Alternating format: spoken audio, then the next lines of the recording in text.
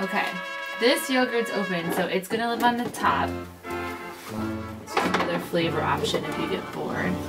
What can we do with just two egg yolks? What do you think this is? Open it up. Mm, I'm gonna wait till the end to do that one. Ugh, when did you expire? This pesto is the same thing. I'm like, that doesn't look right.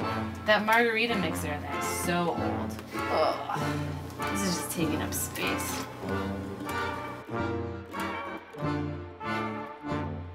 I'm gonna put them in here, don't forget the egg